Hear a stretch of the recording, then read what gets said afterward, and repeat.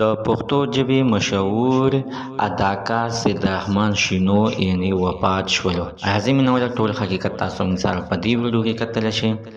د دې ویډیو نه مخکې اول زه تاسو ته دا یادګینه وکم تاسو کو چاري زموږ په دې سوپر کلک چینل کې نوی وای چینل هم نوی سبسکرایب کړئ مهرباني وکړئ تاسو هم دا سوپر کلک چینل ته سره سبسکرایب کړئ خو کې سره د ټلګ نشان وهاي چې هر یو نوی معلوماتي ویډیو تاسو ته په اسانۍ باندې تر ورسي دي عزتمن سید رحمان شینو چې سید تعریف محتاج نه دی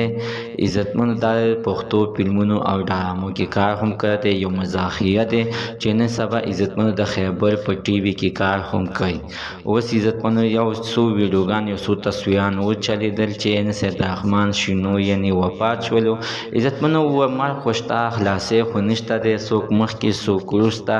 موږ دا نه و چې دا ولې مړ شولو خفه په دې باندې چې عزتمنو دا اخر په څه باندې یعنی چې یا دا بیمار او کنه په څه چل پې شوی و چې مونږ یې نه معلومات وکړو نو عزتمنو د هغه خلاف کسانو دغه شانته غلط پوسټونه یې کړي وو شیر کړي وو چې مونږ سره خپله رابطه وساتله نو هغه عزتمنو ژوندی او مونږ هغه سره په خپله باندې خبرې اترې وکړلې ډېر خوش اخلاقه او ډېر خوش طبیعته انسان دی الله تعالی دې پې اسم نه کړي الله تعالی دې وله نوره زندګي هم وله ورکړي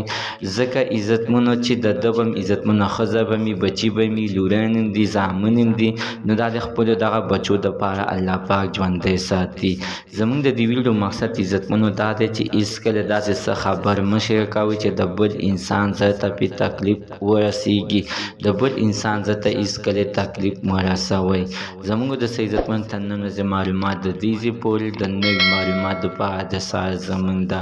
سوپر کلیک چینل د سره سبسکرایب کړئ خوا کې سره د ټلوي نشان ووهئ چې هر یو نوی معلوماتي ویډیو تاسو ته په اسانۍ باندې درورسي